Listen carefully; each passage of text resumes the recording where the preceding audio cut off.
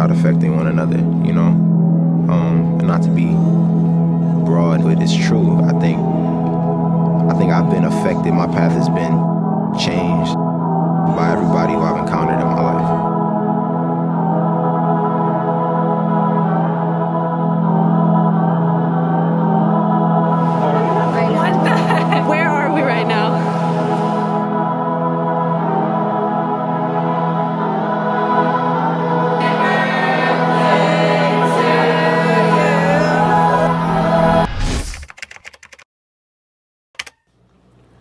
This is the end.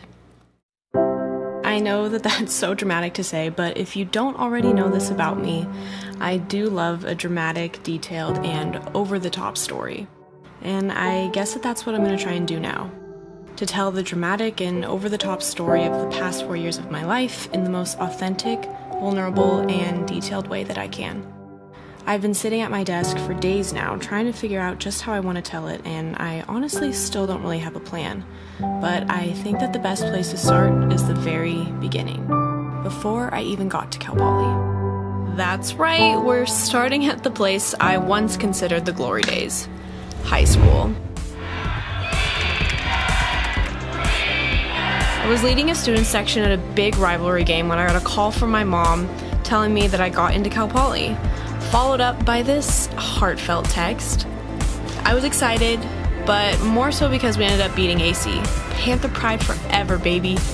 Cal Poly was never really on my radar, and pretty much anywhere in driving distance could be considered off my radar. My parents made me apply to Cal Poly the night before the app was due, and I had no intention of going. But Plans change, and before I knew it, I was saying goodbye to my little town by the water and driving down to start this adventure that I would soon come to know as the true glory days. Follow your dreams. Yeah. yeah. Move in day could not come soon enough. And yes, I did try to go by the name Catherine freshman year. Safe to say, it never really caught on. I was full of small town angst and was ready to finally meet some new people and experience something outside of Benicia. I had high hopes and bigger expectations for my first year of college. But it felt like that fall quarter came with a truckload of reality checks. After getting dropped from just about every sorority on campus, almost failing a class for the first time, and gaining a generous freshman 15, I felt like I had to have a break coming my way soon. And then February happened. Before I get into the doom and gloom of February 2017, I want to highlight and really appreciate the people that I met in that little red brick dorm. It's where I met Elle, Larkin, Brookie, Liv, and more people that would soon become main characters in my college life. Larkin and I really leaned on each other for support while we were navigating living away from home and all of the other fun lessons that that first quarter throws at you and there's really no way I would have made it through without her living just two feet away from me. All in all, there was no shortage of energy and eager 18 year olds ready to have fun in that dorm, and I truly will never forget all of the people that I met during the quarter and a half that I was there. So, shout out to all of the Fremonsters out there that are watching this. I love you guys. But now, let's get back to February. The recent rain is causing the hillside above a Cal Poly dorm to move. There's cracking and slow movement of the soil near Fremont Hall. The dorm was evacuated because of the hillside sliding into the building. Fremont Hall remains closed. So, we're getting evacuated right now? Yep, that's right. A freaking mudslide took out my freshman dorm halfway through winter quarter. Long story short, all Fremont Hall residents were scattered across campus in whatever beds were open and the open bed that I was assigned to just happened to be a top bunk in a glorified storage room. Basically, all Red Bricks have a study lounge and then a silent study lounge in the very back of the building, which is where I got to call home for the remainder of my freshman year. Crash Pad, as we called it, is one of my favorite memories from college and provided a ton of fun moments, like having to walk through the main study lounge in our towels just to get to our dorm room. It definitely wasn't the typical housing situation, but holy shit, did freshman year get even better after we moved in.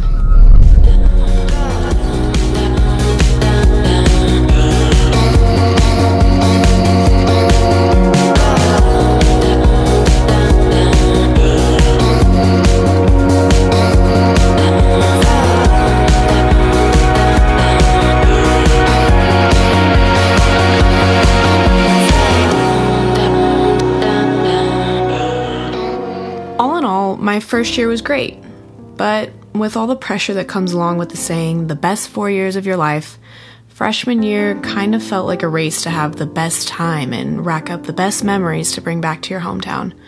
And at some points, I just felt like I was kind of faking it and questioned if Cal Poly really was the best place for me. I wanted to go into my second year with a good attitude and try to find ways to prove to myself that I needed to stay.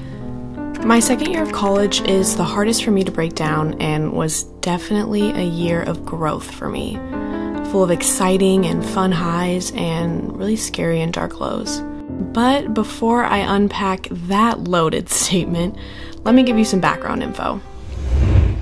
Rihanna and Angel moved me into my first apartment that September, and after probably the funnest move in weekend I'll ever have, I was ready to put all of my effort into making this year count. With two jobs set up, shout out Campus Dining and Mustang News, and all of my friends living within walking distance, I designed my fall quarter to give me as little time to wonder if SLO was right for me as possible. Fall quarter was a crazy rush of going from one thing to the next, and I think I filled up my schedule a little too much to see that I was overworking myself. But the busyness forced me to meet so many more people, experience new things, and push my comfort zone farther than the year before. I joined a sorority, had a somewhat defined friend group, and was thinking that I had this college thing somewhat figured out.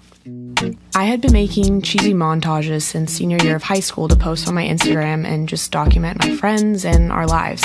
And the summer before my sophomore year, I saved up and bought a brand new big girl camera and decided to put more effort into videography and photography. And by the start of winter quarter, I was booking my first freelance gigs and taking on roles in my organizations that pushed me creatively, which honestly scared the living shit out of me. But the extracurriculars, the jobs, and navigating this new territory of freelance work added a lot of stress to my life. On top of that, I wanted to change my major to something different pretty much every week. From business to journalism, graphic communication, anything sounded more interesting than what I was studying. All of the stress and anxiety over my major added up fast. And just like the year before, the infamous winter quarter blues hit me like a freight train. I have no problem being open about my journey with mental health and the struggles it's brought me throughout my college career. So let me tell you, sophomore year sadness hit different. Like clockwork, I would come home from class every day that quarter, crying my parents, confused about why I was feeling how I felt, desperately wanting the high spirited, funny girl I always thought I was back. And my voicemail inbox pretty much always was full of messages like this Hey, Blue. Here we're not having a great day. Just calling to rescue you. Love ya. I looked in the mirror and hated everything that stared back at me. And finally, those daily discussions with my parents led to the idea that I could leave Cal Poly and just take some time to figure myself out.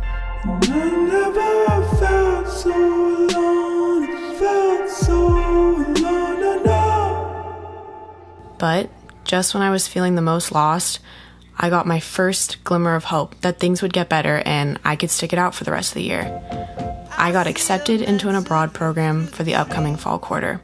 You'll see when we get to that part why Prague was the best experience of my life, but I also believed it saved my life. Knowing that I had something to look forward to kept me pushing through that dark time. If I dropped out of Cal Poly, I couldn't go to Prague. And although I didn't know what to expect, I knew that I would never get this chance again. So, my spring quarter, I worked like hell to improve my mental health. I leaned on my friends for support and made the most of the rest of the year. We filled spring quarter up with lake trips.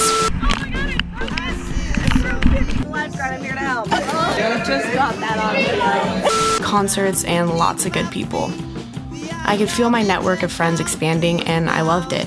I think freshman year, a lot of the time, I was scared to put myself out there, but this spring quarter, I really made efforts to say yes to more things with different people. Now, I don't want it to seem like my sophomore year was nothing but struggles and hard times, which is why I said it's the hardest to explain because I also consider it one of my favorite years. I made so many memories and especially cherished living in a tiny room with Brooklyn. We were pretty much constantly laughing, watching Vine compilations, trying to start a vlog, and just being stupid college roommates together the whole year. I'm so grateful for her and all of the other people that pulled me through.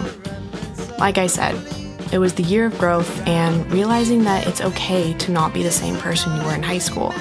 I was evolving, and I think by the end of the year, I realized that I didn't have to hate the new person that I was becoming.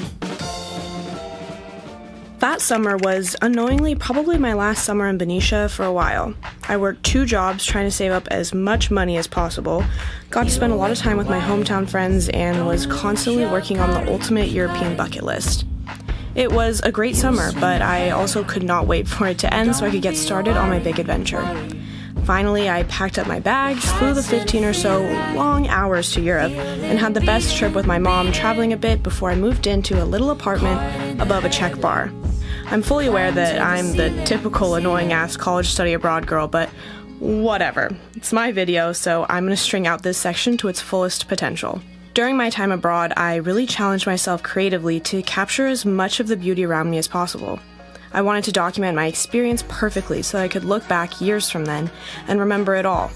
While I was there, I started to get the idea in my head that I could actually pursue something with videography. That thought pushed me to make the most of my quarter abroad and to make every trip look like a movie. Welcome to the Tyler Monday show.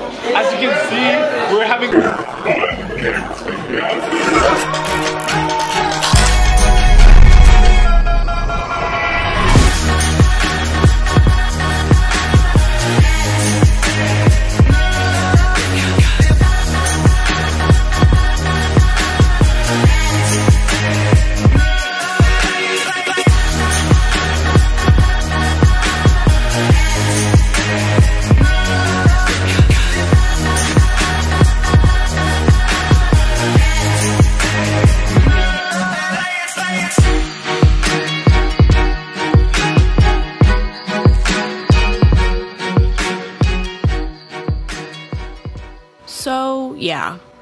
much my biggest adventure so far.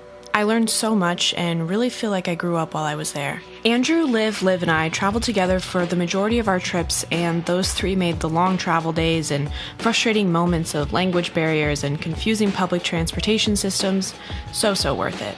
We got to do things I never thought I'd be able to say I've done. From cliff jumping in Italy to seeing the Pope and experiencing firsthand that the hills are in fact alive with the sound of music, we made every day over there count. People say that you can learn the most about others from traveling with them, and I think part of the reason the four of us became instant friends is because we were able to travel so well together. We would pack our days full of things that would make each of us satisfied with the trip, and we would always make time for an unknown goodie. Oh my god. Euphoric. Those guys and the rest of my friends abroad are the people that make up some of my fondest memories of college. Those four months were a whirlwind of newness, discomfort, and independence, and it was such a blessing to get to experience it all with such genuine and fun people. Abroad wasn't all just this beautiful eat, pray, love moment, though. Like getting kicked out of Oktoberfest, almost getting kicked out of our program, and getting food poisoning in the tiny town of Český Krumlov before busing to Vienna. But it was the highs and lows of my abroad experience that made it what it was. I left Prague with a newfound confidence in myself as a person of the world, as lame as that sounds.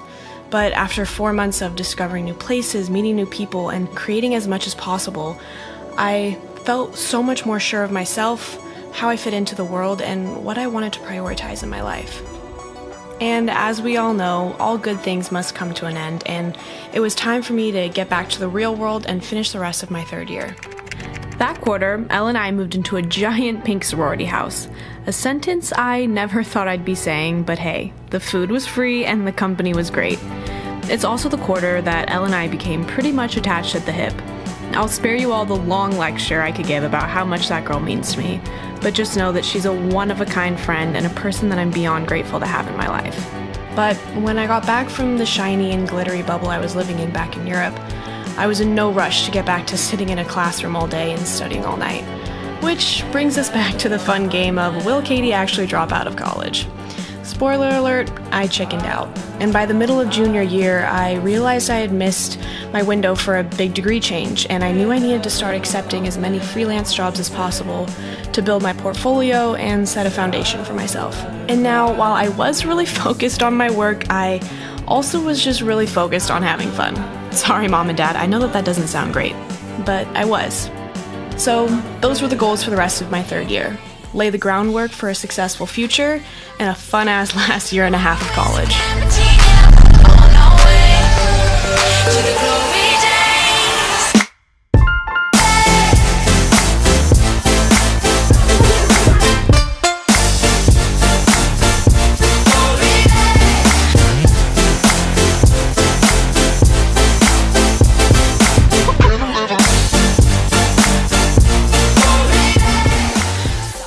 And still, amidst the fun and the grind, all I wanted to do was travel and plan itineraries for future trips and recruit friends to promise that they'll go with me.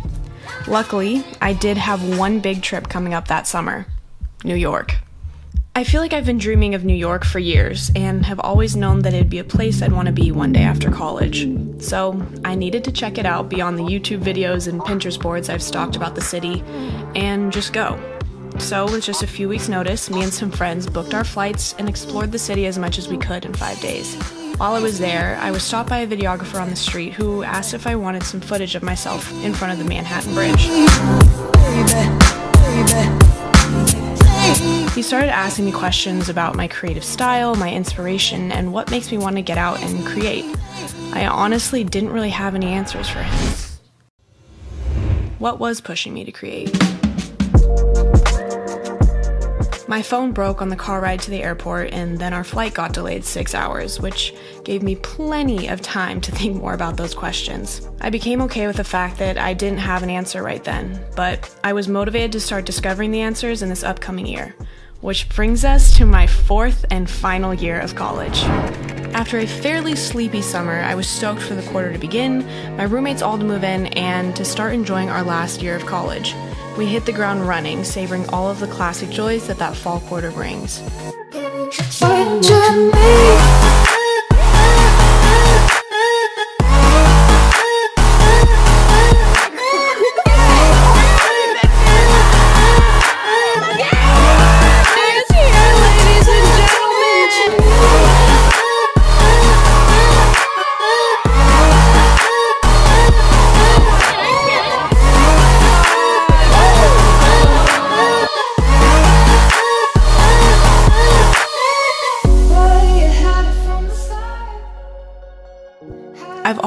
Extremely sentimental person and like to think that I do a fairly good job of appreciating moments as I'm living in them. Probably because I have that Andy quote from The Office constantly playing in my head. I wish there was a way to know you're in the good old days before you've actually left them. A lot of fall quarter I spent looking around at these amazing friends that I somehow got lucky enough to know, and then this beautiful little place that I've called home since I was that 18 year old girl wanting to rebrand herself as Catherine, the cool college kid. All of these sappy and sentimental emotions gave me the final push to do what I've been wanting to do for years start a freaking vlog. I was beyond nervous to put myself out there like that, scared that I'd come off as annoying or cringy. Shout out high school bullies for making me perpetually anxious that I'm gonna embarrass myself. But I feel like my confidence went up kind of out of nowhere right before going into winter quarter, and I just said, fuck it, let's do it. And luckily, I had the best cast of people to be in the vlogs and help me finish them mostly on time. Dancing, people, dancing, people,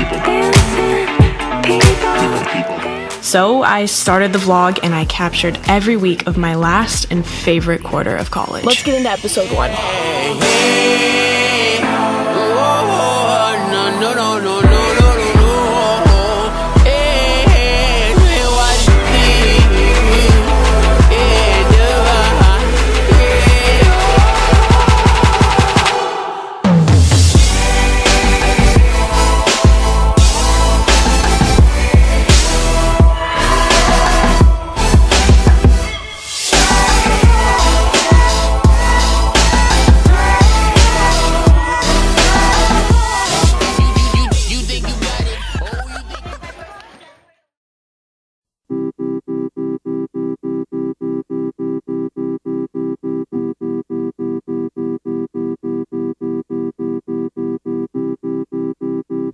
I'd be lying if I threw together these montages of my senior year, said it was dope, and left it at that.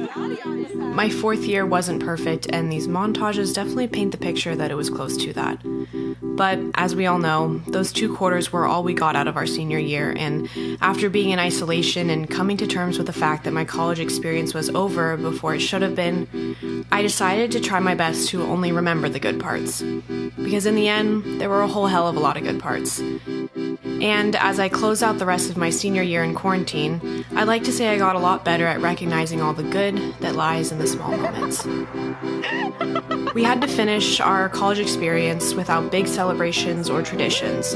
We had to get creative and lean into the few people we were able to be around and make the most of what we can all agree is a pretty shitty situation.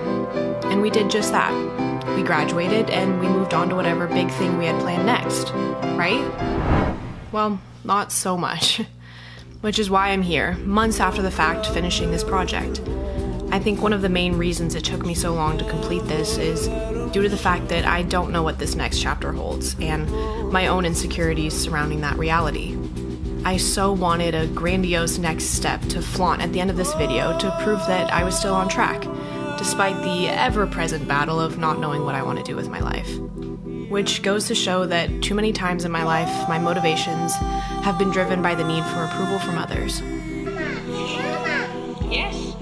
Searching for that reassurance that I'm on the right path and that the path I'm on is going to sound shiny and exciting to those watching. And while I have no clue what this next chapter is going to end up looking like, I'm becoming less and less concerned with what other people will think about that. Now that life is so dissimilar from what it used to be, I can take a step back and look at my college years and say confidently that I'm not filled with any big regrets or disappointments.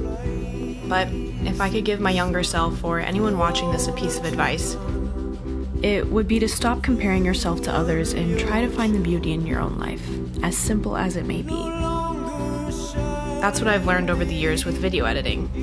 You can pretty much make anything look cool if you put enough effort into it. And that's what I want to start doing with my life in general. Putting in the effort in my daily life to remember that it's pretty great. Yes, I still struggle with my mental health. I don't have my next chapter mapped out, and the world is complete chaos right now. But I know that I'll eventually find my place, and I might as well find ways to be happy in this in between stage that I'm in. If there's one thing I've learned during this pandemic, it's that life can change so quickly. So enjoy where you are, even if it's not close to what you planned.